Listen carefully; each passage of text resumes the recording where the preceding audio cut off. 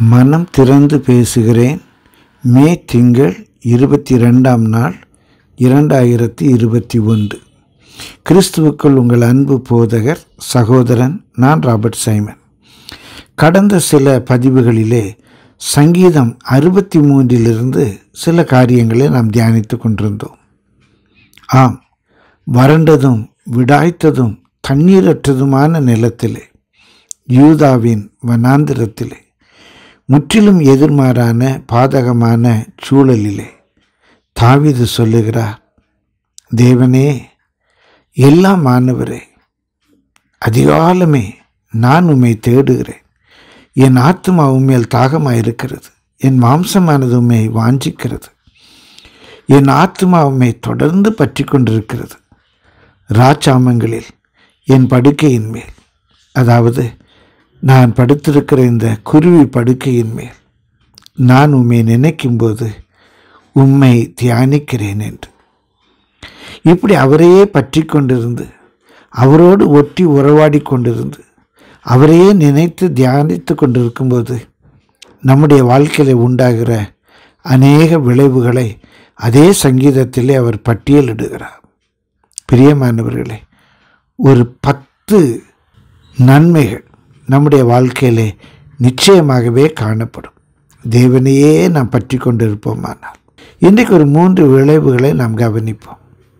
முதலாவது அவர் சொல்லுகிறார் தேவனே நீர் என்னுடைய தேவன். தேவன் என்ற சொல் ஏலோகிம் என்று அழைக்கப்படுகிறது. எல்லாம் என்று பொருள்படும்.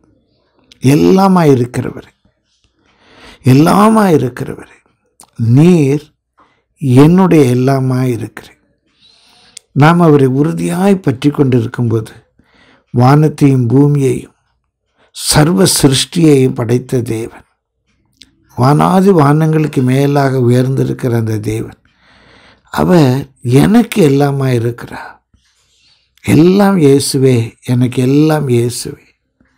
என்னுடைய ஆயனும் என்னுடைய சகாயனும் எல்லாம் இயேசுவே. என்ற ஒரு நிச்சயம் ஒரு நம்பிக்கை வரும். எவ்வளவாய் நாம் அவரை தியானிக்கிறோமோ எவ்வளவாய் நாம் அவரை பற்றி கொண்டிருக்கிறோமோ நம்முடைய ஆத்மா நம்முடைய ஆழ்த்தத்துவம் அவ்வளவா இந்த தேவன் எல்லாமா இருக்கிற தேவன் எனக்கு எல்லாமா இருக்கிறார் என்ற நம்பிக்கை நமக்குள்ளே பிறக்கும்.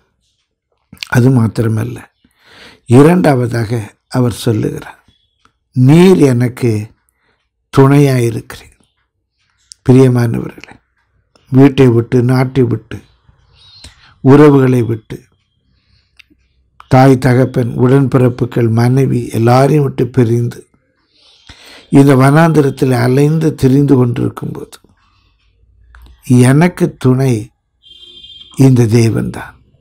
எல்லாமா இருக்கிறவர் இந்த நெருக்கமான சூழ்நிலையிலையும் எனக்கு துணையாக இருக்கிறார். நான் மரண இருளின் பள்ளத்தாக்கிலே நடந்தாலும் அவர் என் கூட இருக்கிறார். தண்ணீரை கடக்கும்போது அக்னியின் ஊடாய் நடக்கும்போது வியாதி படுக்கையிலே சிறைச்சாலையிலே. இந்த துணை என்று சொல்வது உதவி செய்கிறது மாத்திரமல்ல என்னுடைய கம்பேனியனாக இருக்கிறார் என்று சொல்லுகிறார். பிரியமானவர்களே அது மாத்திரமல்ல. இந்த வறண்டது விடாய்த்ததுமான இந்த சூழ்நிலையில் என் ஆத்மா அவரை உறுதியாய் பற்றி கொண்டிருக்குமானால் அவருடைய வலதுகரம் என்னை தாங்குகிறதை நான் காண முடியும். இந்த சூழ்நிலையிலேயும் அவருடைய வலதுகரம் என்னை தாங்குவதற்கு என்னை பிடிப்பதற்கு யாருமே இல்லை. சோர்ந்து போகிறேன் விழுந்து போகிறேன் கால் தள்ளாடுது. பிரியமானவர்களே உமது வலதுகரம் என்னை தாங்குகிறது. கத்துடைய பரிசுத்த நாமத்துக்கு மகிமை உண்டாவதாக. வறண்டதும் விடாய்த்ததுமான தண்ணீரற்ற அந்த வண்ணாந்திரத்திலே தேவன் நம்முடைய தேவனாக இருப்பாரானார் அவருடைய வலதுகர நிச்சயமாய் நம்மை தாங்கும் அவர் நமக்கு துணையாக இருப்பார். தொடர்ந்து அதில் உள்ள இன்னும் சில நன்மைகளை வருகிற பதிவுகளிலே நாம் பார்ப்போம். கத்தவங்களை ஆசீர்வதிப்பாராக.